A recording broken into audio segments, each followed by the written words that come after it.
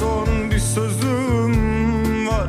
Gitmeden önce Ben sigara dumanının altında Yana yana en sonunda kül oldum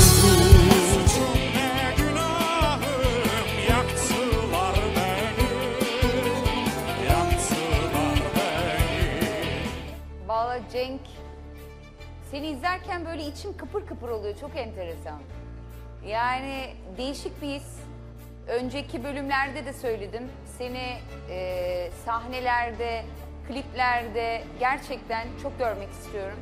İnşallah o ses Türkiye'den sonra senin yolun çok açık olacak. Bunu çok çok içten hissediyorum. Çok teşekkür ederim. Ve çok sağ seni olun. gerçekten bak çok samimi söylüyorum. Hayranlıkla izliyorum. Seni izlerken böyle çok teşekkür küçülüyorum. Hepinize başarılar. Düşer aklıma bomboş gidişlerin Bilemem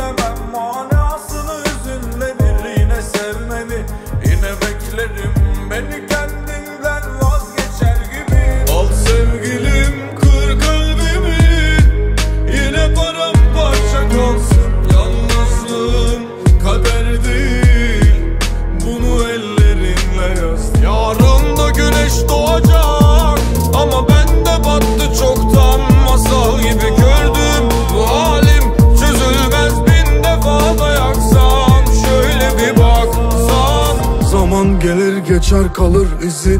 Bir vedanla harcadın bizi.